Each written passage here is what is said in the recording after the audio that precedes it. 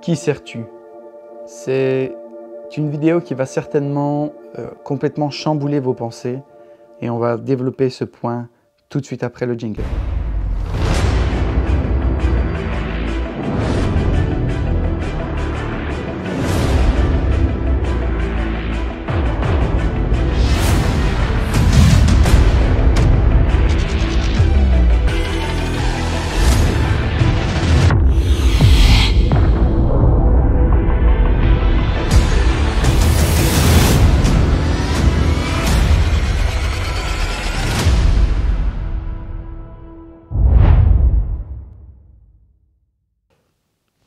Je rencontre beaucoup de gens très actifs dans les églises, mais pourtant, il y a quelque chose qui me chagrine. Je ne dis pas que cela est partout, mais je dis que je suis régulièrement euh, en vis-à-vis de cette euh, situation.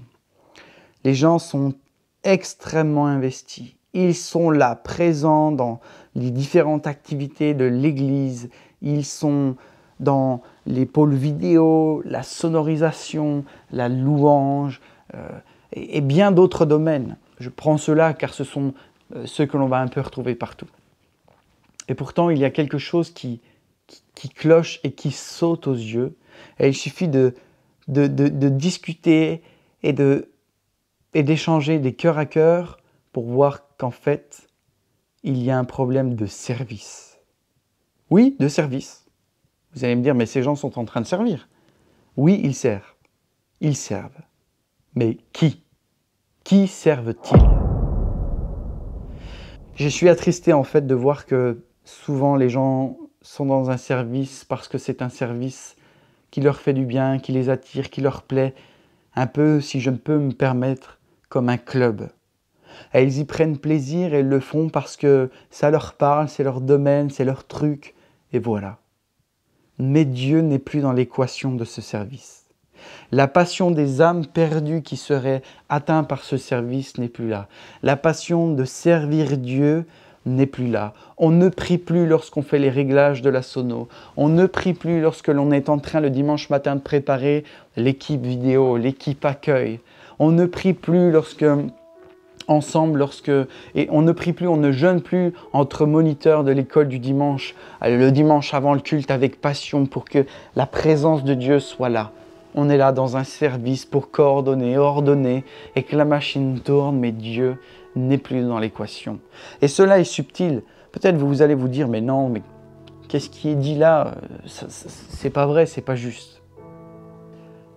La vérité, c'est que nous pouvons rapidement glisser dans un service de service, où Dieu en fait s'éloigne petit à petit de, du but premier. Oui, oui, nous faisons ça pour lui, nous sommes convaincus de le faire pour lui, mais notre cœur n'est plus en contact avec lui.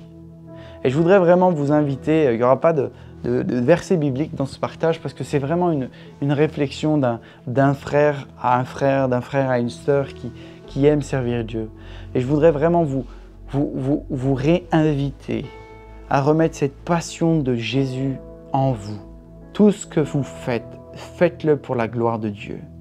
Tout ce que vous faites, faites-le avec un cœur sincère. C'est la base, c'est la base. Souvent quand je vais le dimanche à l'église, je m'attends, je m'attends, pas souvent, je m'attends à ce que la puissance de Dieu soit là, que les paralytiques soient guéris, qu'il y ait vraiment quelque chose qui se passe, qu'il y ait un éclair dans la salle ou je ne sais quoi, que la puissance de Dieu se manifeste. Mais quand j'ai plus ça, quand j'ai plus ça, quand je vais à l'église, quand je fais un service pour lui, quand je fais ces vidéos,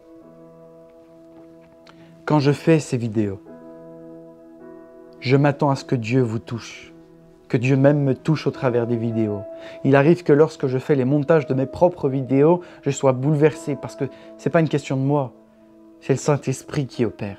Ce n'est pas les paroles de, de l'émission Jésus Identité qui vont faire la différence, c'est la présence de Dieu qui va faire la différence. Parce que je cherche Jésus, je cherche sa présence pour réaliser les contenus, pour réaliser ces vidéos.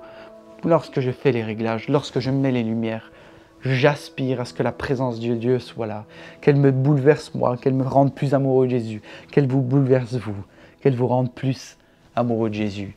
Alors j'aimerais t'inviter à repenser, qui sers-tu? Qui sers-tu? Où est ta passion pour Jésus? Mais en parallèle le temps que tu mets à prier, à chercher sa face, et le temps de service que tu donnes pour lui. Qui a la plus grande part? Qui a la plus grande part? Je connais des gens qui s'occupent de 15 000 orphelins et qui passent 4 heures par jour, le matin, à prier avant de commencer quoi que ce soit. Pourtant, 15 000 enfants, il y en a des urgences, il y en a des choses à gérer. Mais où sont nos priorités? Où est la, la relation que nous avons avec Dieu? Et je crois que toute chose est beaucoup plus simple, beaucoup plus détendue lorsque nous sommes imbibés de sa présence. Alors, servez le Seigneur avec joie, avec passion. Soyez pleinement bénis.